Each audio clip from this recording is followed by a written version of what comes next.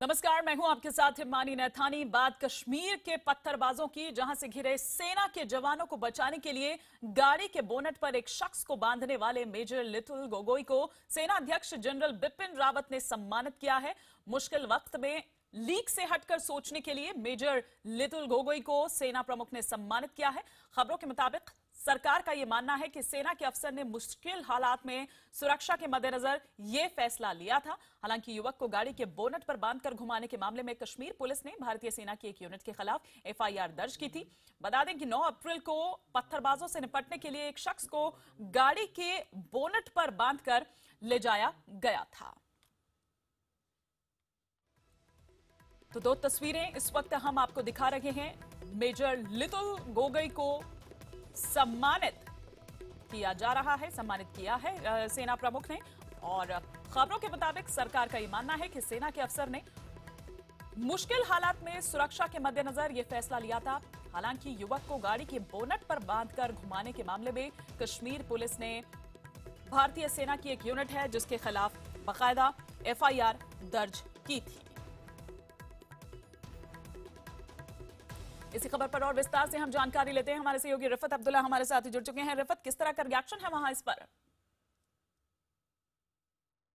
देखिए ईमानी बिल्कुल नेगेटिव रिएक्शन है कश्मीर में इस चीज़ पे, क्योंकि लोग यहाँ पे एक्सपेक्ट ये कर रहे थे कि आर्मी मेजर के खिलाफ कार्रवाई होगी, बल्कि अब ऐसा हुआ है कि आर्मी मेजर को रिवॉर्ड दिया गया जो यहाँ के लोग समझते हैं कि ऐसा नहीं होना चाहिए था, लेकिन ऐसा हुआ क्योंकि ये एक इंसानी मसला है, जैसा मैं पहले भी कह चुका हूँ, क्योंकि अगर हम ह्यूमन राइट्स की बात करें, उसे प्रोटेक्ट करने की ज़रूरत है। एक सिविलियन था, ना ही ये मिलिटेंट था, ना ही ये पत्थरबाज था, लेकिन फौज ने इसे बोनट पर बांधा और उसके बाद सड़कों पर इसे घुमाया गया। आज मैं आपको बता दूँ, खासतौर से अगर हम इसके मेंटल हेल्थ की बात करें, डॉक्टर्स ये कह रहे हैं कि इसे अब संभलना बहुत मुश्किल होगा इसके लिए, क्योंकि ये जब सोता है तो इसे ख्वाब में भी यही सपने आते हैं, क्योंकि शौक में वो लगातार है, अब वो साइकेट्रिक पेशेंट बन गया है। तो उसे इंसाफ कौन देगा? उसके इंसाफ की भी यहाँ पे बात है। अगर आर्मी मेजर को रिवॉर्ड दिया गया तो इस शख्स को, ये एक सिविलियन था, इसकी क्या खता थी कि इसे वहाँ पे बोनट पे उस तरह से बांधा गया था, जैसा ये कोई बड़ा इसने कोई क्राइम किया हो। अगर किसी भी सूरत में अगर ह्यूमन राइट्स की बात करें तो शायद उसके खिलाफ कहीं ना कहीं ये चीज़ है। तो ऐसे में यहाँ के लोग काफ़ी गुस्से में हैं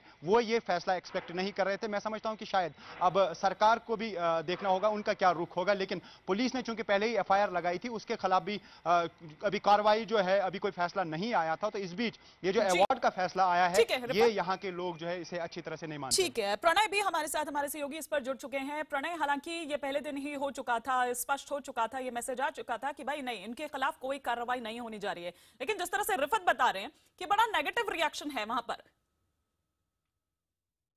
देखिए, कश्मीर में जिस तरीके के हालात हैं, ऐसे में प्रतिक्रिया होना कोई बहुत गैर लाजमी नहीं है। प्रतिक्रिया इसकी हो सकती है और सेना की तरफ़ से भी ये एक सोचा समझा कदम है, चीफ का कमेंडेशन है, क्योंकि पहली महत्वपूर्ण चीज़ इसमें यह है, जिसका शायद ध्यान रक्षा मंत्रालय ने भी रखा है इस चीज़ के बारे में, कि एक मैसेज जाए खास तौर पर सुरक्षा बलों के अंदर एक डिमोरलाइजिंग मैसेज नहीं जाना चाहिए कि वो डिफ़िकल्ट हालात में भी, यदि कोई कैजुअलिटी नहीं होने देते हैं, मुश्किल हालात में वो फैसला लेते हैं तो उसमें सुरक्षा बलों को डिमोरलाइजिंग मैसेज नहीं जाना चाहिए कि किसी व्यक्ति के खिलाफ कार्रवाई की गई है।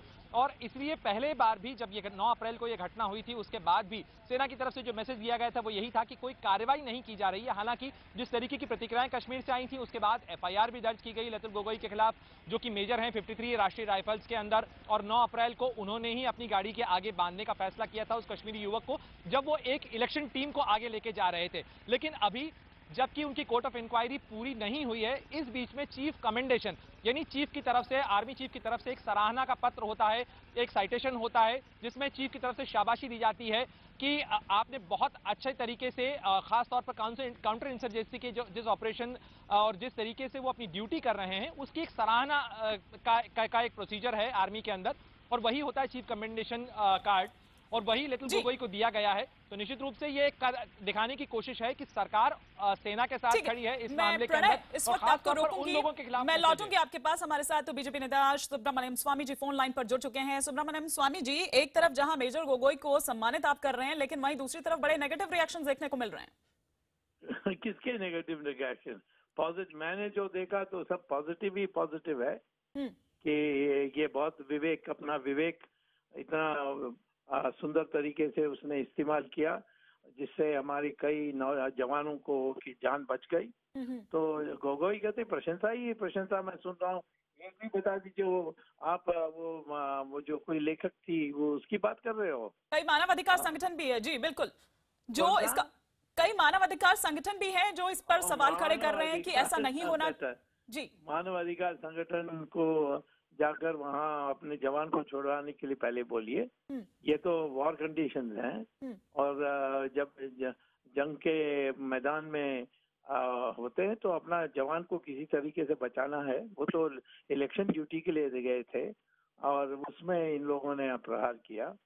तो उन्होंने ठीक ही किया। उनको बचा के लाए हम्म, और अपना विवेक का उन्होंने उपयोग किया। इसके लिए उनको सम्मानित करना आवश्यक है। ठीक है। शुक्रिया हमारे साथ जुड़ने के लिए। बीजेपी नेता सुब्रमण्यम स्वामी हमारे साथ जुड़े हुए थे और वो इस बात को बिल्कुल सही ठहराते हुए कि मुझे ऐसा नहीं लगता है कि कहीं भी कोई गलत या कोई नेगेटिव रिएक्शन आ रहा है। हालाँकि अभी हमने बात की हमारे सहयोगी रिफत अब्दुल्ला से तो वो यहाँ पर यही बताते हुए, साथ ही ये बताते हुए भी कि किस तरह की उस शख्स की मनस्थिति है, उसके बारे में भी यहाँ पर हमको विस्तार से बता रहे थे हमारे सहयोगी रिफत अब्दुल्ला। शुक्रिया रिफत आपका भी और प्रणय आपका भी इस तमाम जानकारी के लिए।